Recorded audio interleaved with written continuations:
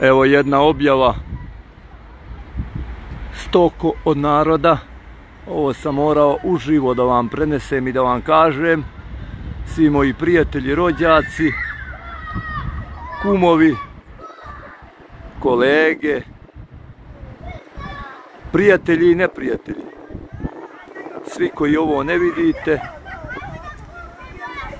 ako idete na izbore, da glasate neke vaše patriote, nabijem vas na kurec, sve do jednoga, i braću, i prijatelje, i rođake, i sve vas ujedno, koji ne vidite da vam ubijaju djecu, koji ubijaju vas i vaše porodice i vašu budućnost i vaše zdravlje. Sve vas na kurac nabijem. Stoko od naroda. Eto tako. Hvala, doviđenja.